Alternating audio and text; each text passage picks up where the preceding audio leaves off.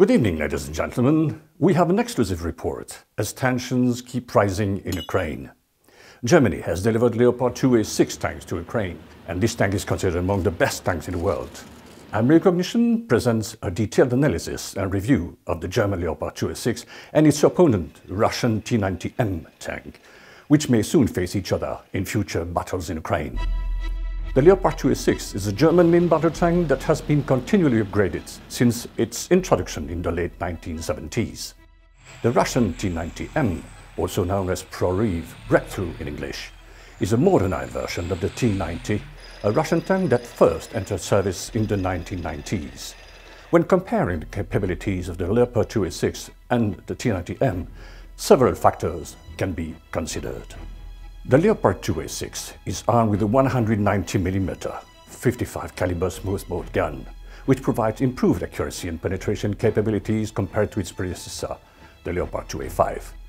The T90M features an upgraded 125mm smoothbore gun, which also provides good accuracy and penetration capabilities. When firing modern APFSDS rounds like the Svinets 1 or the Svinets 2, the T90M can engage targets at a range of up to 4,000 meters, two and a half miles. Moreover, the T90M has the ability to fire the Reflex, which is coded by NATO as AT-11 Sniper, anti-tank guided missiles, which can effectively engage enemy armor at long ranges. The Reflex missile has a range of approximately 4 to 5 kilometers and is designed to penetrate modern composite and reactive armor, making it a powerful weapon against enemy tanks. This missile capability gives the T-90M a significant advantage in terms of standoff range and versatility, allowing it to engage targets from a safer distance compared to the conventional tank rounds. This capability is not available on the Leopard 2A6 smoothbore gun.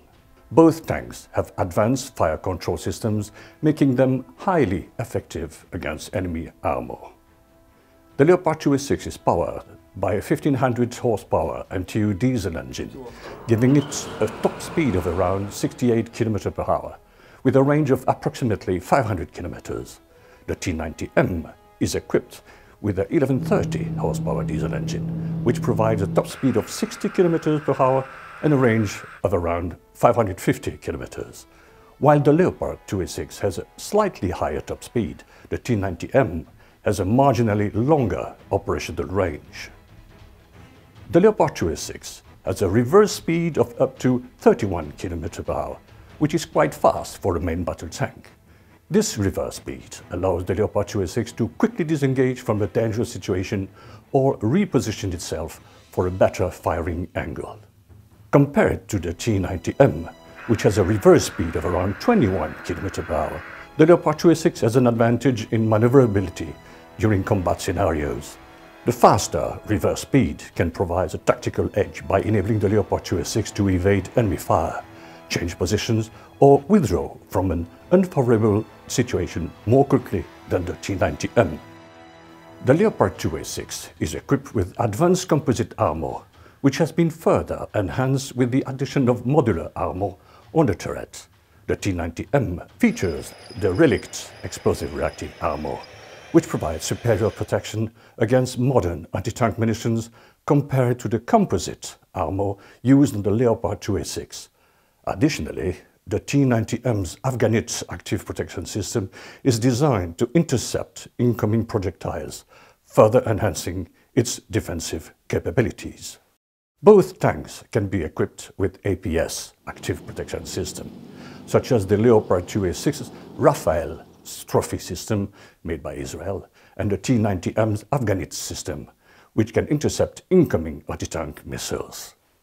Both the Leopard 2A6 and T90M have modern digital communication and data sharing systems, allowing them to integrate with other units on the battlefield for improved situational awareness and coordination. In conclusion, the Leopard 2A6 and the T90M both possess advanced capabilities in terms of firepower, mobility, protection and networking. While the Leopard 2A6 may have an edge in terms of firepower and mobility, the T-90M's upgraded armor and protection system make it a formidable adversary. The outcome of a potential engagement between these two tanks would depend on various factors, such as crew training, tactics, and a specific combat situation.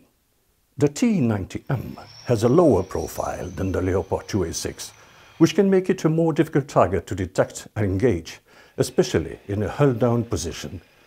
This reduced visibility can provide a tactical advantage on the battlefield. The T-90M has a crew of three commander, driver and gunner, thanks to the use of an automatic loading system. The reduced crew size allows for a more compact and lighter tank which can contribute to improved mobility and a lower profile on the battlefield.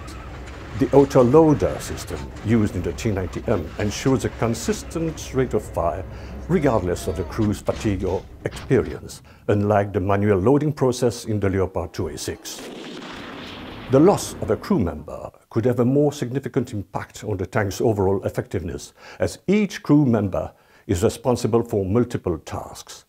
Some argue that autoloaders can be less reliable or slower than a well-trained human loader.